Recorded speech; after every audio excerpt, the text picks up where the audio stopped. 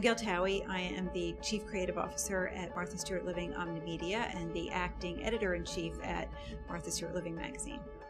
I'm Lucinda Scala Quinn. I'm the Executive Editorial Director for Food and Entertaining at Martha Stewart Living Omnimedia.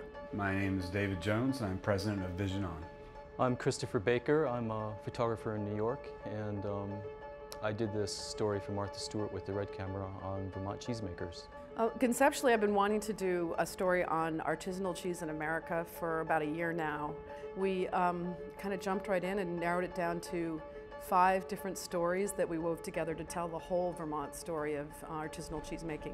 I started to present this idea of using motion for this Martha Stewart story because I felt like this magazine with its TV program, its website, and the magazine, you know, in the past they're constantly having to shoot the still and then they have to resend the TV crew.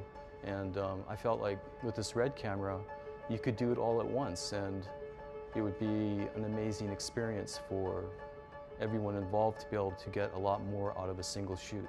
At first I was interested in this in the red camera because it was obvious to me that it could be used in so many other ways, that it was, could be used as a multi-channel device where you can capture print and motion media all at the same time.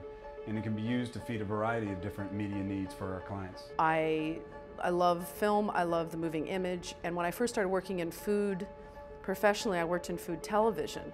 I understood what it was like to be behind the camera, um, to tell stories with moving images, what the editing process was. Well, Lucinda's a real pro and she knows what she wants and um, she's quite savvy with TV and motion, so you know, it was a really easy mix for us to work together. And, you know, and she's very good at getting the dialogue out of people. She was the one who asked all the questions for generating the dialogue in the interviews. So it was like, it was literally the most exciting week I've had in a long time creatively. I felt very facile. I felt like I was catching a lot of different moments and images. I felt like never had I really seen um, a film shoot set up so quickly with so little fuss.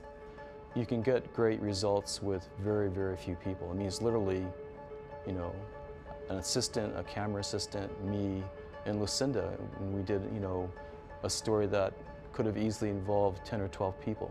I think we'll definitely want to embrace this kind of technology as we move forward. Um, we found this experience to be very economical in many respects. I think the whole idea of a small crew, you know, in a way is, you know, it's a lot of freedom there because you're not having to wait for all these people to do what they're supposed to be doing.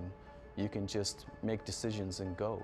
I think now that I understand how it works and I understand the ability to um, tell a story in so many different platforms, it's given me all the more urgency to want to work with this camera again.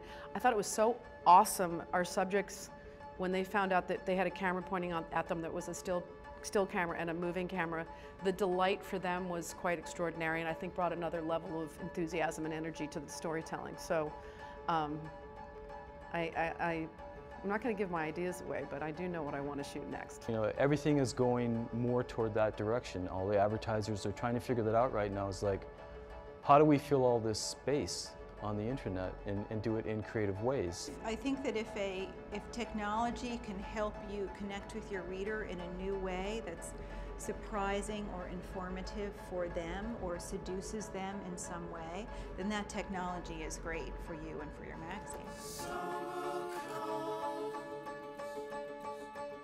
comes tomorrow.